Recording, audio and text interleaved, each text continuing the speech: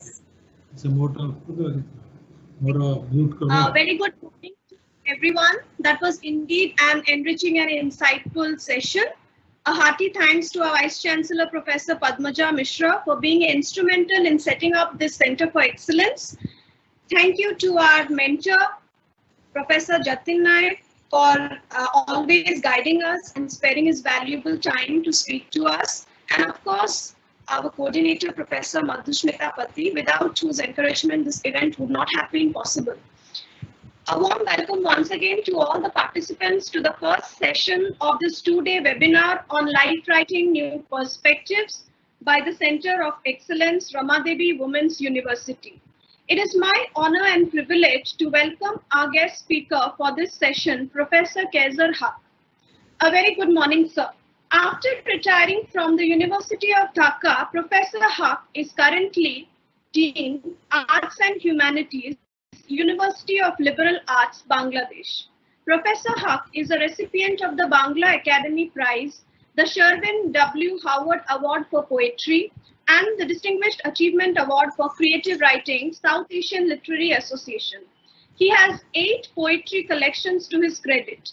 Professor Haq, while pursuing his PhD, was a Commonwealth Scholar at Warwick University, UK. He was also a Senior Fulbright Scholar and last Fellow at the University of Wisconsin, USA, and a Royal Literary Fund Fellow at School of Oriental and African Studies, England. Professor Haq will speak on the uses of life writing for South Asians. Professor Haq, please.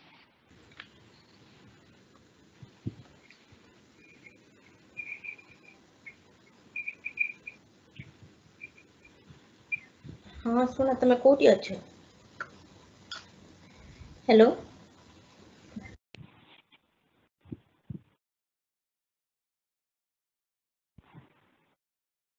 So please unmute your mic, please. We're not able to hear you. Pro- Professor Huff, please uh, kindly unmute your mic. Right. Eh, eh, Yes. does- Is it working now? Yes, sir, you're audible. You can begin. Oh, good. Okay. Thank you very much, uh, Professor Jatin Nayak and uh, Professor Madhusmita, uh, for inviting me to this occasion, uh, to this wonderful seminar, webinar. And uh, uh, it's interesting that this should be a webinar rather than a, li- a live, in a face-to-face conference, because I think one effect that this pandemic is going to have is to make uh, this kind of virtual interaction more common. I think uh, already people are talking about radical changes in our economic lives as a result of this uh, pandemic. Um, and uh, I think our academic life is also going to change uh, in quite uh, perceptible ways because I think we'll we are headed for sort of uh, an age of blending the virtual and the real. Uh, the two will go parallel. And uh, in the context of life writing, this is also very important because life writing, the, the term, even though it was coined in the 17th century, um, shortly after the term biography was coined, uh, has become popular only recently, really. I mean, it is, I must confess that it's not all that long ago that I came across the term life writing. You know, um, I think it is very much a 21st century phenomenon that the kind of uh, interest that is being generated now um, in the and your center is an is a case in point. Then other centers at King's College, you know, at Oxford, and uh, elsewhere in the world, in Australia, I believe, uh, are focusing on life writing, and I think this is part of a broad uh, change in uh, the um, uh, literary scene, in, in the way literature is taught, studied, and explored. And uh, you, we can see this uh, change in the way uh, certain and the new terms are, are replacing old ones. I think uh, life writing is one because um, I mean uh, it's uh, it is autobiography. It is a form of autobiographical writing. In fact, uh, the two words mean the same thing, and yet life writing seems to be to have a broader compass. It is a blanket term, a kind of hold-all, where um, virtual modes of uh, leaving traces uh, can can also feature. So um, hence uh, the importance of blogs, um, you know, um, even I, I suppose uh, um, videos, um, and uh, you know, writings online, even the Facebook posts, um, emails, because uh, emails have virtually replaced letters. And uh, in the past, of course, letters were a, an important form of uh, life writing. Um, now, emails, we I, I, used to think of emails as a rather ephemeral kind of communication. You just dash off something. You don't even check the bother to check the spelling and the grammar. You know, this is how people generally write emails. And yet, uh, there's at least one book um, which is a collection of emails. Uh, it's a, uh, a, collection of emails exchanged by Bernard-Henri Lévy, the French uh, philosopher, and uh, the French novelist Michel Houellebecq. So they debate and discuss various things through emails, which are subsequently collected and published. So this is a, this sort of thing can become, may become more common. In other words, I think the, the, the uh, modes of expression have become uh, greatly widened as a result of the new technology and also uh, globalization, the economic changes which have taken place, plus the changes in the way we are approaching the whole subject of literature. Now, take up, say, uh, we have left the 20th century behind. In uh, Amitav Ghosh's uh, new novel, Gun Island, which in a way can be seen as life writing because it is life writing that deals with a number of very interesting characters from uh, India, Bangladesh, and elsewhere. Anyway, there um, one of the young uh, uh, characters in the novel says to the uh, narrator, um, you are still in the 20th century. Do you think we are in the 20th century now? So it's, it, uh, I mean, it, and it suddenly made me realize that the 21st century is now 20 years old. And if you, and we are due for uh, major uh, changes in our cultural life. Just think of the 1920s and how revolutionary it was. It was that was when um, the the age of high modernism, and now what will our 20s, the 2020s, bring? And I think um, the kind of interest that is being generated by life writing is one of the aspects of the new 20s, the 2020s. And uh, alongside, you can see the, um, the, the, the, use of uh, growing use of new terms like translingualism, literary translingualism, instead of right, uh, talking about um, uh, writing in a, a, language other than the mother tongue. So it, we are all translingual writers now. Um, think of um, transnational literature.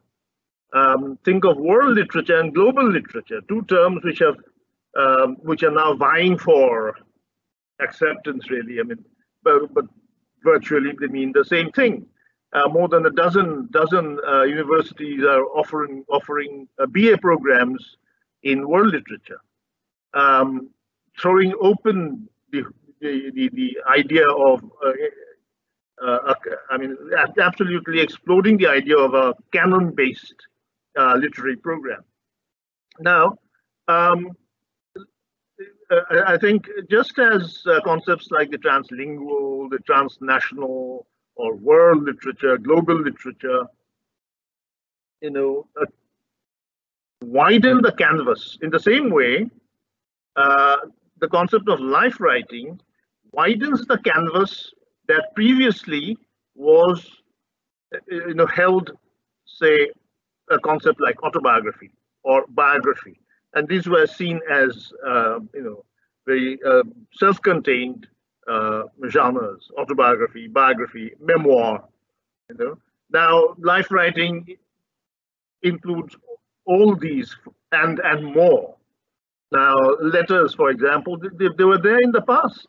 Much of Rabindranath Tagore's um, oeuvre, many of his books are just collections of letters and diaries. So the diary and the journal, for example, is another important mode of life writing. These have been around for centuries, but I think the act of putting them together, bringing um, them under a new uh, sort of uh, critical uh, microscope, as it were, um, it changes the picture in subtle ways. Um, now, uh, Professor Jatin Nayak has uh, given us a very um, vivid and lucid uh, explanation of the different kinds of uh, tasks which are performed by autobiographies and uh, biographical writing. And uh, in this subcontinent, I think it is historically, it's only recently that such writings have become important. I mean, if we um, look at the uh, history of uh, autobiographical writing, I think in this subcontinent, the first would be Babur's memoirs, you know, the Baburnama, probably.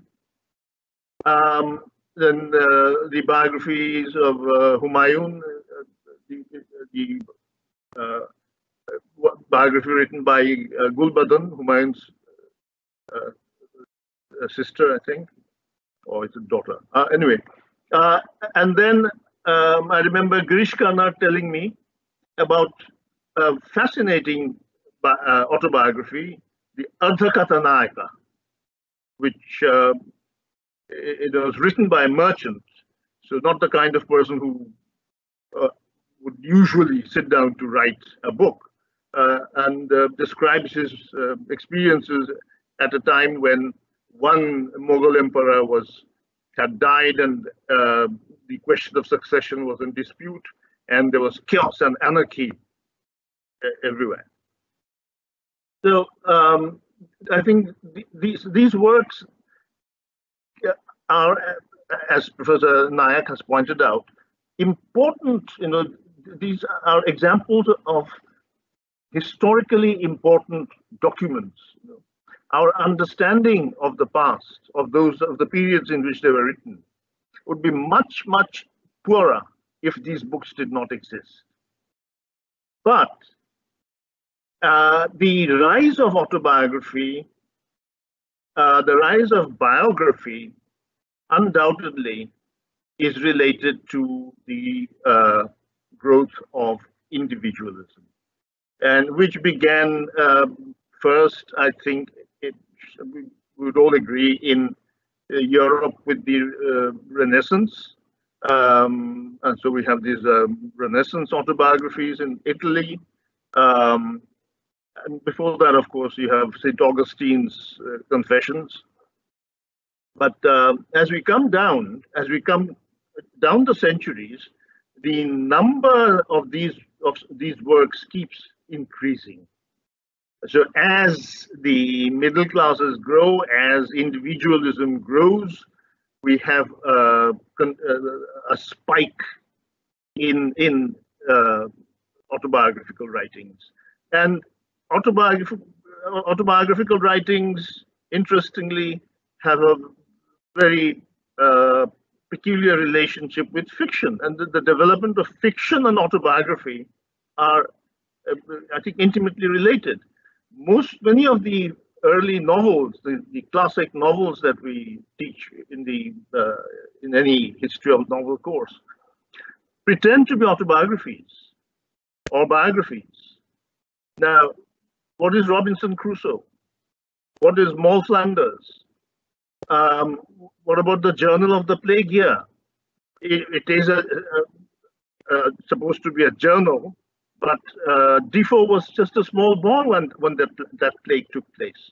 So it's actually a reconstruction, um, which reads like a reportage, but um, it can be in that sense, in, it can be read uh, as a novel, as a novel that gives a very accurate picture of the kind of things that happened in that, that uh, uh, great uh, epidemic.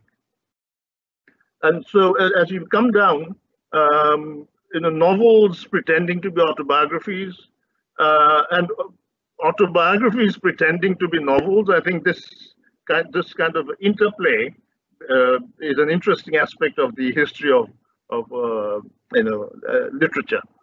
In um, in uh, the sub in South Asia, I think the first autobiographies that probably attracted our attention are the autobiographies of politicians. Gandhiji's autobiography, for example, uh, Nehru's autobiography. Um, but uh, if, if we restrict ourselves to Indian writing in English, and I, I would think, say that undoubtedly the first autobiography that really grabbed the attention of the uh, world readership is the autobiography of an unknown Indian. And uh, it uh, remains unique in the way it evokes East Bengali life in, in the early 20th century, uh, in the way it evokes uh, the Calcutta, you know, um, in the early 20th century. Um, it, it, it, as a as a concrete uh, record of what it felt like to live, to grow up at that time. It's unmatched, I think. Now, I'd like to, uh, I, I, I, do not want to give a kind of history of uh, life writing in, this, in South Asia, but rather, you know, the title is The Uses of Autobiography uh, in, in, in South Asian writing. Um, I'd like to suggest that as uh, we, we can, uh, you know, historicize, um, we can, let's say, uh, think of uh, periods in uh, our literary history. You have the colonial period, um, then the period of na nationalism, and the period after 1947, the uh, post-independence. And I think now, uh, with the, in the 21st century, we're um, entering an, a, a, totally new period. So I would say that if uh, belongs to, straddles the colonial and the post-colonial, um, and let's say after 1947, um, an autobiography like Sasthi Brata's, uh, the you know My God Died Young, which I remember uh, I read with great pleasure as a young man because it was also written you know by someone who was uh, quite young when he wrote it, and uh, in its uh, in, in, in, the sort of uh, rebelliousness that it uh, espoused, it, it you know, struck, struck a chord in my sensibility. Um, now, the, the age that we are now going through it is the age of post uh, liberalization, you know, uh, the age of globalization, the age of the transnational, the age of the migrant, the uh, age of translingualism. And all these are affecting the way I think uh, writing is shaping up. So um, I'd like to briefly uh, introduce three books, three um, autobiographical works, all three by um, people from Bengal, two from Bangladesh, one from uh, West Bengal, originally from West Bengal. And all three are now um, expatriates. I think one interesting development that has happened in recent year, uh, years is the uh, growing transnationality of our people. And uh, the, the, every year you have a, a, bigger number of people were getting out of, of our countries, Pakistan, India, Nepal, Bangladesh, Sri Lanka. Um, at one time, you know, the Mughals used to say that Bengal has a thousand gates for entry and not one for departure. Um, it, because it's at one end of the subcontinent. So, and it was at one time um, frontier country because the land was uh, swampy, the land had to be slowly reclaimed, uh, which Eaton has brilliantly described in, in the rise of Islam in, on the Bengal frontier. So the land was, the forests were cut down, the land was brought under cultivation, the population grew. Um, people came into Bengal because the land was fertile. A strange thing happened after we became independent in 1971. And soon um, after 71, I came back, I went back to my studies from uh, uh, uh after taking part in the, in the independence war. And uh, you can imagine the state of the economy. It was in shambles after the war. And the jute market had collapsed. Before that, see, we used to produce most of the world's jute, which was a big foreign exchange earner. And uh, we thought that, you know, we could bank on jute when we became independent. Uh, unfortunately, just as we became independent, the world uh, switched to synthetics. And uh, at, at, that time, I, I, could sense this uh, urge in the younger people. You see, by that time, the population pyramid, see, uh, and the impact it would have on our lives had also become clear. It, it must be the same in the other uh, countries of South Asia as well. But each country, of course, has its own uh, peculiar characteristics. So the number of people who were who had just become just come of age, you know, were in a situation where they didn't think there was much of a future in the country because the economy was still, you know, uh, not hadn't you know take, taken shape. And uh, a popular singer, as he was just taking off, as his career was taking off, you know, um, I, a friend took me to a, an informal concert, and he sang a parody of a popular Bollywood song, you know, "Hum Tum Ek Kamre Mein Band Ho," which he turned into, you know, a, a song saying that you and I um, are not going to stay in Bangladesh anymore. We are going to go to America. See, And I, we all laughed over it, but it struck me that it showed uh, the the birth of a new uh, aspect of the collective psyche, this desire to get out of the country, and that has uh, that that has spiked over the years. And today, if you look at, uh, say, uh, Amitav Ghosh's Gun Island, the number of uh, Bangladeshi uh, migrants is uh, huge. Those uh, trying to cross the Mediterranean, you see. He says that the second largest number of people were from Bangladesh. So it is in this context that we have um, a, a, couple of books um, which I'd like to uh, draw your attention to. I, I'm pretty sure um, no one in the audience has probably seen this these books. There's one called uh, Beloved Strangers by Maria Chaudhuri. It's a memoir uh, published by Bloomsbury, India in uh, 2014. Um, then there's another book by a Bangladeshi. She was a student of mine, well, published in 2013. And uh, The Unlikely Settler by Lipika Pelham. Um, these, these are the two Bangladeshi uh, books that I'd like to briefly discuss.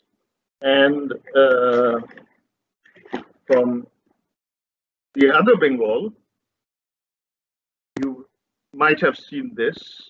This is not quite not white. Losing and Finding Race in America by Sharmila Sen, who is a very important uh, figure in the publishing world. She's um, in the one of the people running the Harvard University Press. Now, this was published by Penguin Viking in America in 2018.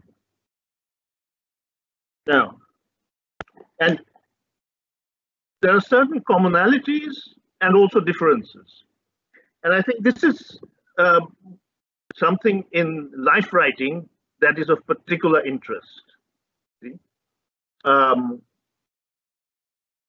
when, if we write history, if we write, um, you know, a kind of an intellectual study of uh, a, of a people or a time or even uh, an individual, we tend to uh, deal, we, we tend to we fall back on abstract categories, on generalizations. You see, so we, uh, in other words, there's a kind of uh, a Procrustean bed into which we try to fit every subject we are dealing with. The beauty of life writing is that every, if it is done uh, with uh, sensitivity, each book will be unique. There will be, you know, subtleties, uh, nuances, which you will not find in another work of life writing by somebody from a, the same background and from the same period. And uh, you know, one of the things, one, one of the new concepts that uh, is gaining uh, traction in uh, academia now is intersectionalism. So, um,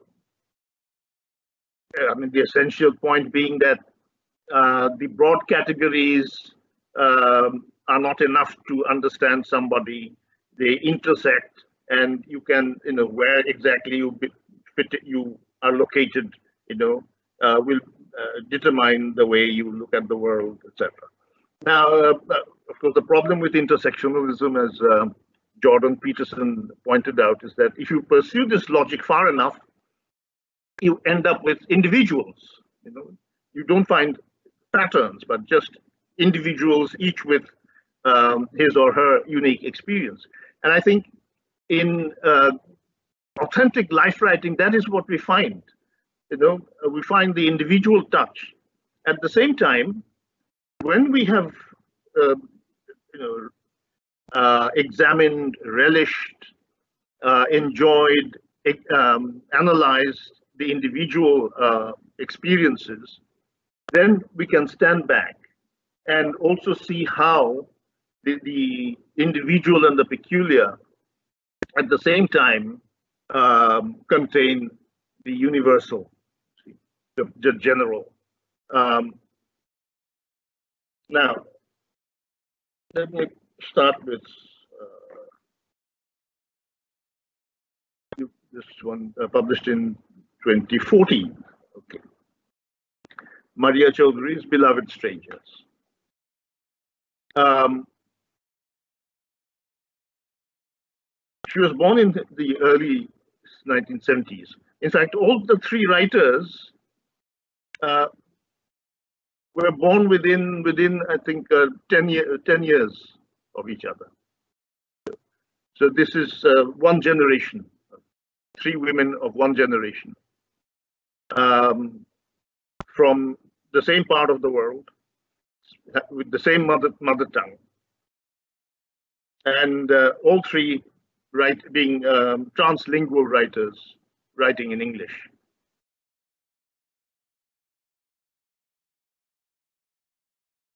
Now, beloved strangers, I think what's interesting is the way in which Maria is dominated, her psyche is dominated by shame and guilt. And these are aspects which are related to the culture in which she was born. And the culture, aspects of that culture, were mediated by her family background. In this case, the father was the key factor here. The book is dedicated to the father and mother and the siblings and her husband and son. Now, the father, as he is portrayed here, is a very systematic uh, man who is also very religious.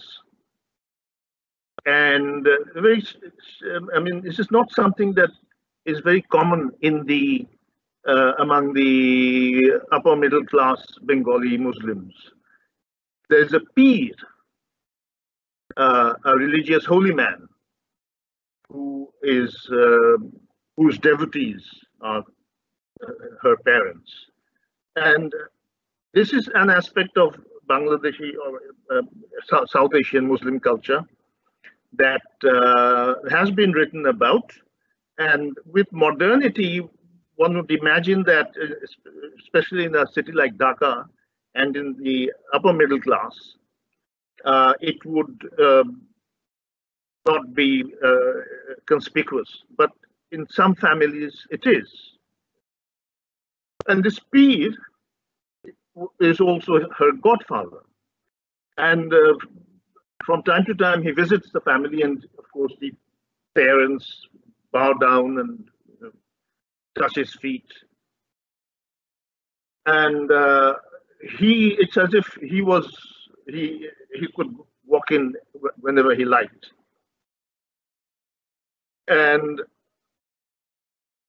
almost predictably, this is what happens when she's there in his presence. Every time I went near the Pir Sahib, he tried to catch of my uh, to catch hold of my hand and asked me to scratch his back. He would shout out my name and claim that he had a story to tell me about my namesake, a certain Maria Alkiptia of Egypt. Come to me, my little one, he'd repeat incessantly. Let me tell you a story about your name. I tried to hide behind my mother, but she would push me forward until I fell at his feet, touching withered yellow skin for divine, for blessings divine. Now, so uh, because of the hold that the pir has, you know, and the father, uh, uh because of the of his peculiar uh, psychic, uh, psychological weakness. See, when he loses his job and has to then settle for a less uh, lucrative one, he suffers mentally, eventually has a heart attack and dies. Um, the Maria, like her elder sister, goes to America to study. And there, um, the, another aspect, of course, of the novel is the frankness with which her uh, personal life is described. So uh, the, fem the uh, description of feminine sexuality, I think, in a culture like ours, is a, a, a, very important development that is taking place today. So, um, one of the reasons why Taslima Nasreen got into trouble was, of course, her frankness. And the, fa the fact that she was writing in Bengali, which a larger number of people read, made her particularly vulnerable. And then eventually we know uh, how unfortunate she was and had to uh, go into exile and kind of barren exile because now she's uh, um, almost in a homeless state because even West Bengal will not have her. Um, so the the the, the uh, description of uh, uh, sexuality is frank, refreshingly frank. She uh, gets into a bad marriage in America, um, which ends in divorce. Uh, she, she comes back to Dhaka and she marries again and moves out. So the last time I uh, met her, she was uh, living in Hong Kong with her second husband. And so she, she has a ch child and all sort of life has become more stable. But um, in the account, we, the I think the most significant parts are the way she describes the fam the tensions in the family, the the repressive nature of, of, of the society that she grows up in, her rebelliousness, and then her escape. And in America, of course, 9-11 takes place. She is called a filthy foreigner suddenly by somebody in the street. Um, she has to leave because she can't get a work visa because she, the degree she took was in religion and philosophy, and she comes back uh, and then goes off to Hong, Hong Kong again. So now, being transnational, to her, the idea of home is not what it was to her parents or grandparents. So in one uh, uh, place she says, what is home, I snap when somebody asks, do you think you'll ever return home? What is home? Especially in this day and age. Look at this global world we live in. So I think that uh, you know explains the situation in which this kind of writing flourishes. Um, the other Bangladeshi book Lipik, by Lipika Pelham, The Unlikely Settler, again. Now, she was a student of mine, as I said, she came from a village in the in southwest Bengal. Uh, her father was again religious.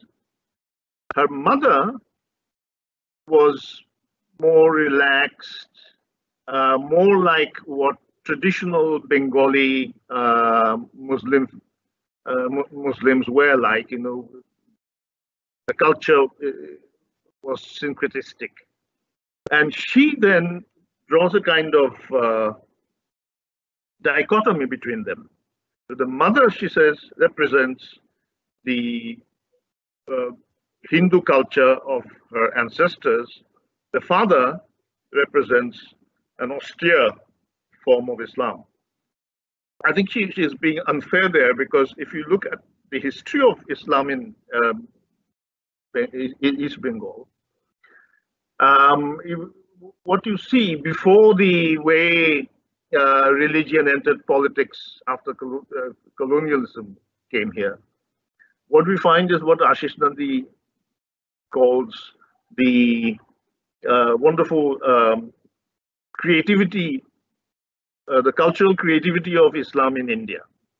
So um, right now, for example, um, I'm uh, thinking of uh, retelling in English uh, 16th century text by a Sufi called Syed Sultan, who wrote a massive uh, biography titled Nobi Bongsho, the lineage of the Prophet. Um, in this, it's in two volumes, uh, the edition that has been published recently. And in that book, he he describes not only the Prophet of Islam, but all the other prophets. who came before him, and including Hari. So Vishnu becomes a prophet in that book. Um, this is the kind of syncretism that um, existed at one time. And uh, it has now, today it would be unthinkable. But I imagine if anyone asked him why he, uh, in, in that book, he showed Vishnu as a prophet, he would have said, well, in the, the Quran, it says that God has sent uh, messengers, prophets, to every people on earth. Therefore, who were here? Who were the messengers sent to the subcontinent? So the avatars of Vishnu, perhaps? Anyway, so uh, that is the kind of um, culture in which Lipika feels at home. So she des- describes herself as culturally a Hindu, and but an atheist. So that makes her, again, if she had written this book in Bangla, um, I, I shudder to think what the reaction might have been. It was published in New York uh, by other press. And uh, I don't think it has received the kind of attention that uh, it deserves. Anyway, now in after finishing her studies at Dhaka University, she uh, went off to London to with a job in the BBC because uh, she was good at um, as a presenter, as a radio personality.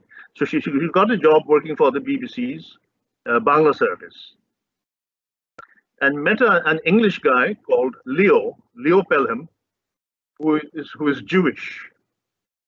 Um, now, interestingly, her husband is an English Jew who studied Arabic at Oxford and whose life's mission is to work for to try to bring about peace in the Middle East. Um, why? Because of his, his deep-seated conviction that you know the uh, the Islamic and the Judaic um, communities have deep underlying uh, a, a, deep kinship, which should uh, lead to um, peaceful coexistence rather than the kind of tension we have. So he, he goes to the, um, he takes his wife along because, uh, and, and she takes leave from the BBC, a long leave, to accompany him with their children to live in Palestine. And he's work, he works for a Washington-based think tank and tries to make peace. So she goes from, uh, you know, there are all kinds of um, trips to different places where, you know, he interacts with people, tries to uh, get them to agree to keep up uh, working on a peace process. So he believes that only a, a one-state solution um, makes sense because unless you have one state which is not based on religion but which is which can accommodate you know Jews and uh, Palestinians, uh, then you can have peace. Now the the experience of living there and then the description of the situation there is done very well. You know, it's quite disturbing. Uh, Israel as a security state, and then the uh, rigid attitudes of those who have to, uh, who are the uh, soldiers in the Israeli army. Um, but the experience uh, splits the family, you know? and for some uh, some time, the husband and wife separate, although they, they are still married. Um, and even the children divide into two camps. The son becomes uh, is pro-Palestinian. The daughter uh, feels quite comfortable uh, describing herself as a as, as a Jew. Um, but uh, you see, their, their, their position there is quite ambiguous because Lipika says, I'm an atheist and refuses to convert. Um, so they cannot all pass off as Jews in Israel. So at the airport, uh, um, on two occasions, she is harassed. Um, eventually, this whole experience serves to show us not only the family and the tensions that arise in the family, those tensions reflect the family in uh, reflect the tensions in Palestine itself, and uh, gives us a far better uh, understanding of the situation there than uh, you know the usual uh, socio-political study would give us. Um, in the end, they, they leave uh, Palestine. Um, the husband continues his work. He gives up the peacemaking because, in other words, the situation is hopeless and goes back to journalism, but covering the Middle East. And they are together again. Uh, and she finds peace in the attempt to write this book. Now, see the kind of uh, the differences between the two characters here. A city girl, a village girl who comes to Dhaka and then goes to England and then becomes this unlikely settler in Palestine. And through, through her life writing, we get not only her own life, her family, but also the, the uh, an entire strife-torn region in a way that is uh, uh, really uh, very vivid and uh, revealing. Now, the third book, Not Quite Not White, by Sharmila Sen, uh, she was born again uh, at about, about, the same time as the other two. She was born in 1970 uh, in Calcutta to an upper middle class family, which then fell into bad times. And then the father emigrates to uh, America in 1982. They go there, and then she describes how she makes a determined attempt to become American. Now, the question of color comes up. Uh, Sharmila is very fair, like her father, but her husband, who is a Sikh, is uh, darker. So are the children. So it's an, it's interesting to how the question of color that we that is important in the subcontinent is carried over to America, and it's uh, hilarious to read how Indians are categorized in America, where race is an important category. And she makes the point that in India, race is not an important category. See, uh, in fact, there's no word for race in the Indian languages. Um, but uh, in uh, America, you have the categorization, the categorization of the, uh, the population into race right from the beginning, from the very first census in 1790, uh, white, black, and Indian meaning American Indian. Um, now, what about the South Asians? In 1970, the US Census Bureau declared people from India to be legally white. A decade later, in 1980, we were officially reclassified as Asian by the government at the insistence of Indian immigrant groups who believed that the new classification would afford us greater affirmative action benefits. But what would happen to those who had made use of the earlier decision? So now the decision was that Indians can self-report. So you declare what your race is. And in the 1990 census, one fourth of the Indians in America declared themselves to be white, 5% black, and the vast majority using terms that refer to South Asia. So it, I found this quite hilarious.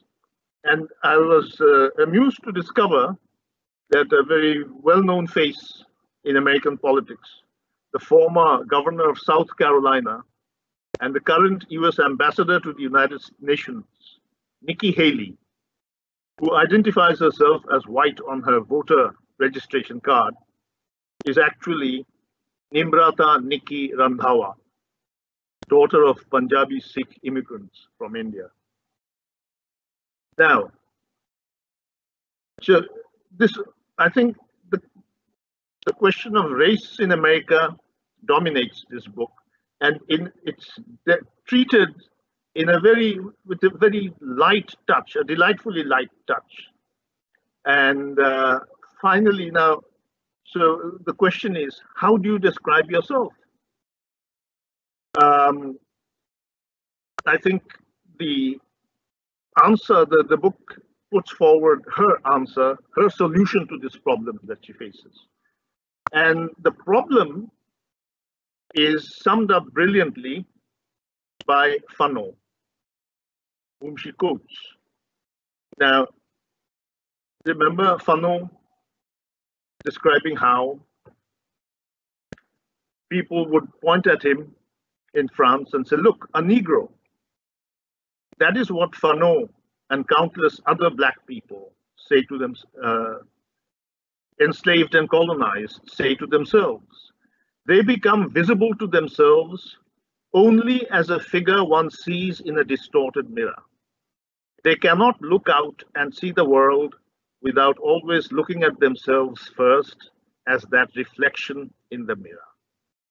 To always think of oneself in the third person, she, he, it, they, is to lose the first person, I, me, we, us. This is the condition of being hyper-visible.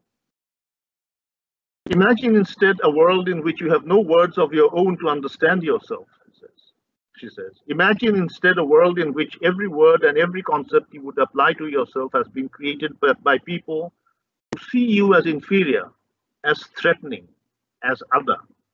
Third person consciousness makes me see myself only as others see me. I become foreign to myself.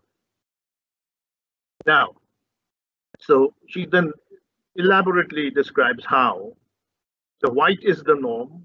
You cannot call somebody white, but people are described as persons of color, uh, you know, black, brown, whatever.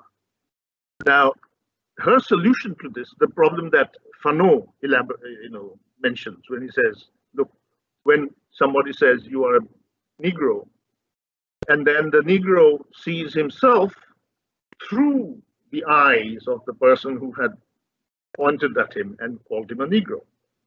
So her answer is, uh, I would call it, her solution is an Upanishadic solution.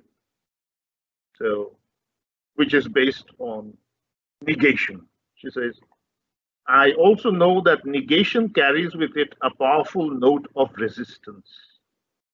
I am not monotheist. I am not Christian. I am not European. I am not white. For all these reasons and more, I chose not white, a, a grunt, a negation, a refusal, a belligerence. And at the end, she sums up. Within the heart of non-whiteness lies the power to name whiteness. So you are turning the tables on those who name you. The whites have named you as black or brown or yellow or a person of color.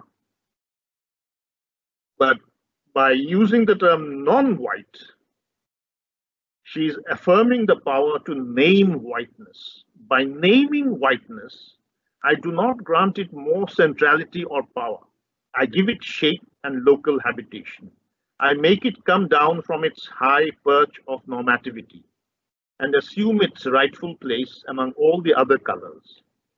I contain it and domesticate it before it can contain and domesticate me and my children.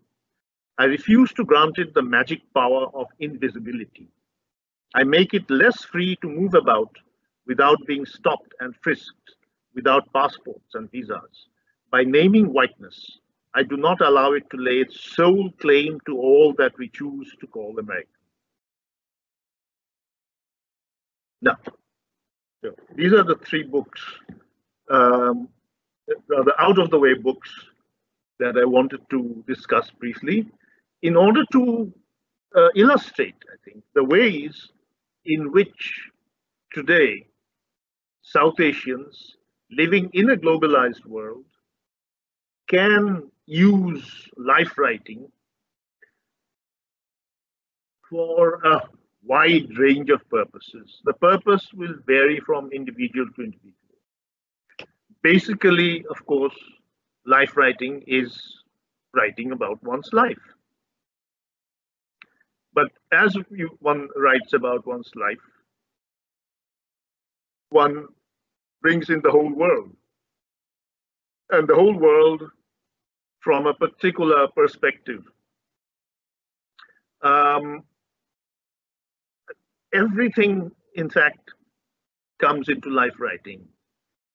One's genealogy, one's genetic identity, perhaps, one's social uh, position, one's uh, uh, professional life, one's personal life, one's confessional life, um, and the world as one sees sees it. So, in other words, the uh, the concept of life writing gives us a limitless canvas on which we can, you know, uh, each do our own painting in, in a unique way. Um, in today's world, I think by focusing on life writing in the way this center and other centers are doing, um, it is possible to, to, to do a great service to the to the literary scene because I think I, I would complain that the literary scene is dominated by the novel. Um, if you ask someone, if someone tells you uh, that he's a writer, you automatically assume that he's a novelist. And this is, I find, this is restrictive because, and there's a whole industry that has grown up to promote the novel as the central literary form.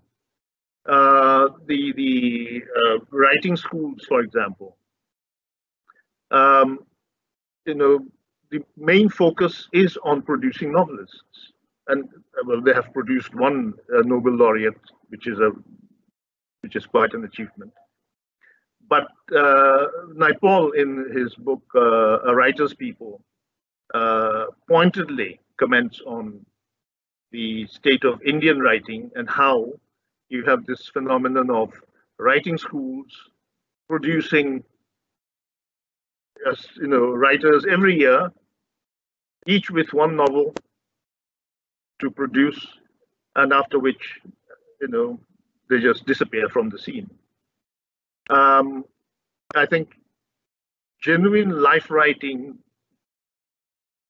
I personally believe, has uh, more staying power than the ordinary, the, the, than the average novel. Because the, the authentic voice of an individual will always appeal to the human sensibility uh, in any country, in any age. Today, if we discover, let's say, if we were to discover, let's say, a personal diary left by Shakespeare, just imagine how, how much uh, importance it would have. the resonance it would have, uh, how thrilling it would be, and how valuable uh, it would be um, to, to, to us as readers, scholars, people interested in literature. Um, I think I've come to the end of the allotted time. My, have I? Uh, yes, sir. So um, there are um, a couple of questions. If you can Yes. uh, take the questions now. Uh, one of them have asked that is there something that will spark our passion towards life writing?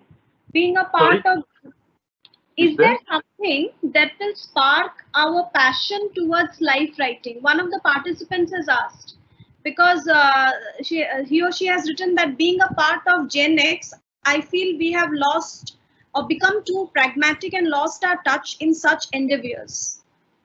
Ah. I, I think there, there is a primal urge in everybody to explore the self. You see, um, I mean the in our sort of uh, role as existential beings, self-fashioning is uh, of crucial importance, and I think life writing is related to self-fashioning. Um, in a in a sense, the uh, we we are all engaging in life writing, you know, all the time. When we uh, write letters, when we write an entry in a diary, uh, we are doing ex- life writing.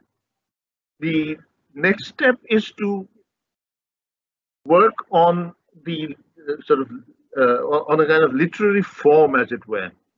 So, it, I mean, life writing can be, you know, at one extreme, it can be automatic writing. I remember reading a book called The New Diary. It was one of these uh, books written for people who wanted to be writers and uh, who felt this this problem that I can't write. You know, there's a block, and that whole book just um, details the ways in which a person can uh, break that barrier. And he said, it says uh, the, the, the simplest exercise is every day before uh, going to bed, spend some time, let's say 15 minutes, half an hour, write without thinking. Some kind of automatic writing. Write whatever comes into your mind and put it away. Don't read it. See? So, in other words, uh, this is uh, uh, something like what Professor Nayak mentioned um, when he uh, talked about the therapeutic aspect of uh, life writing. See, just So one more Yes. question, can a life writing be also considered similar to witness writing? I would say witness writing is a form of life writing. Because you see, life writing is not only autobiographical, it can be biographical. It can be it can be reportage, you know. I mean, uh, I think one of the um, uh, forms of life writing which had grabbed a lot of attention and which should be studied very carefully by those interested in life writing is so-called new journalism in the 1960s. You see, again, uh, I think in the 20th century, two decades were crucial, you know, in uh, bringing about revolutionary changes in culture: the 1920s and the 1960s. And in the 1960s, um, there was a, a, a talk of a crisis of the novel, you know? and uh, the new journalist said, "Well, I mean, forget the novel." write about reality. And at that time, of course, all kinds of exciting things were happening. The Vietnam War was going on. There were student protests everywhere. Uh, social changes, dramatic social changes were taking place. And the idea behind uh, new journalism is that these exciting changes can be uh, written about using all the literary techniques that one can muster. You don't have to worry about uh, building a plot you know, um, as you would if you, you, you, sat down to write a novel. Yes, sir. So- So, one more question. Yes. Uh, just one more question. Uh, one participant has written, can sir shed some light on life writing or confessional writing reflected in South Asian poetry, especially by women poets? Yes, I think the the first uh, poet one has to mention is uh, Kamala Das or Kamala Suraya. And she was writing confessional poetry at about the same time as uh, Sylvia Plath and Anne Sexton. So, and she, she was doing it independently. And subsequently, I think um, now sort of confessional poetry has become a, a, a part of the mainstream. So it is no longer just uh, a, a category, you know. Uh, it's it's merged into the mainstream um, because uh, essentially what the confessional poets did was to break certain barriers to make it, you know it possible to deal with uh, hitherto taboo subjects. And uh, it also goes backwards, you know. Say if you um, look at uh, the poems of H.D., um, there are confessional elements. Even in Robert Frost, when he writes Desert Places, he's writing about his uh, own depression. So um, confessional poetry can, you know, it goes back all the way to Romanticism. And uh, after the confessional poets of the late 50s and 1960s, I think it has now become uh, something that is uh, that uh, any poet can use, you know, this mode. And the same with prose, I think. Um, after the big um, uh, changes that took place when, you know, the censorship laws were relaxed, you know, uh, Lady Chatterley's Lover was um, made available in it was 1963. I think. You remember this poem by Larkin uh, uh, when the about the, the Chatterley being allowed to be published. So um, from this that period onwards, you see, as uh, in the West, uh, censorship has really died. You know, it's no longer uh, something writers need to worry about. I think uh, now the whether one is writing in writing prose or poetry, the confessional is just part of the mainstream. So it's up to the, the writer to decide what exactly you know uh, one's own uh, approach to writing will be.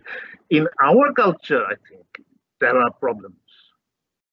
You know, so uh, I mean the experience of Salman Rushdie, the experience of Taslima Nasreen, then the uh, experience of uh, Aubrey Menen's The Ramayana, which is still under a ban in India, you know, the Rama retold.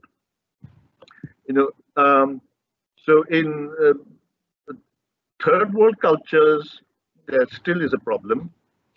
And with uh, uh, radicalism, you know, this problem can impact on the first world also, as you know from the terrorist attacks.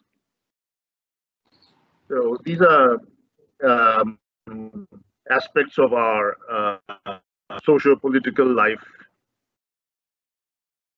um, which are unfortunately present and uh, the writers have to negotiate their way through this minefield as it were. I mean, uh, it, it's a very depressing, it it can be a very depressing situation. Thank you, sir. It was a very interesting session. Thank you for your erudite talk on the uses of life writing for South Asians. And we are grateful to you, sir, for sparing your precious time to be with us and talk to us. We have a break now. Uh, let's meet again at 1.30 for the